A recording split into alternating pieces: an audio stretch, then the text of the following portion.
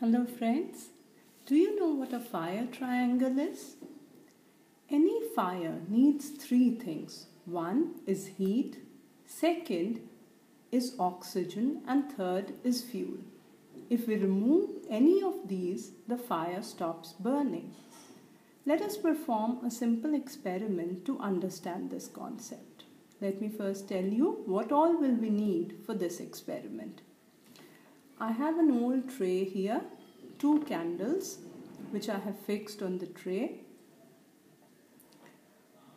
a glass which is slightly higher than the length of these candles and a glass bowl. I've also got a matchbox here. Let me first light these two candles.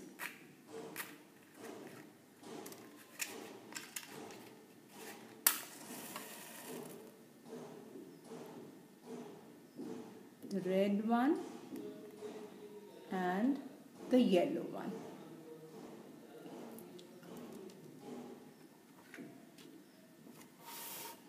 We'll cover the red candle with this glass and see what happens.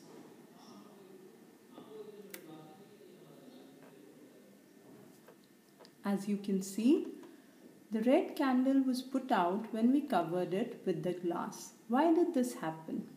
I told you three things are needed and one of these is oxygen. When I put the glass on the candle, I cut off the red candle's oxygen supply. It continued to burn for a few seconds more because there was some air under the glass. Once the red candle had consumed the oxygen under the glass, it stopped burning. The yellow one continues to do so because there is sufficient oxygen all around. Going by this logic, if we were to cover a candle with a bigger bowl, there would be more oxygen under the bowl and therefore the candle should burn for much longer. Let's try this out now. Let's light this red candle again.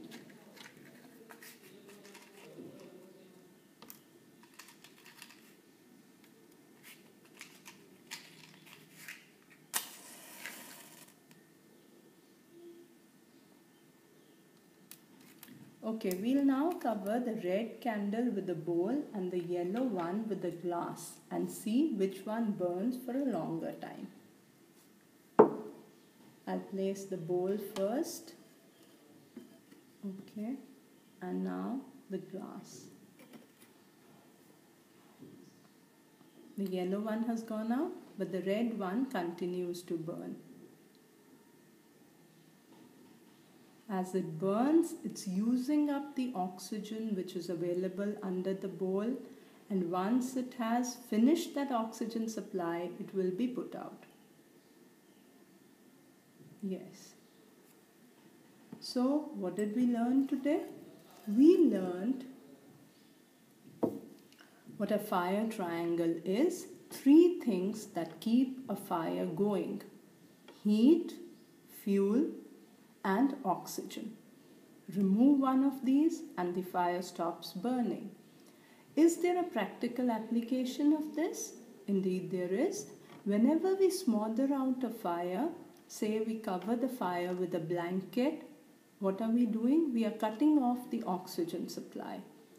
Some fire extinguishers also use the same principle they give out dry powder or foam which covers the material that is burning and prevents it from coming in contact with oxygen. So much for now. We'll do another experiment soon.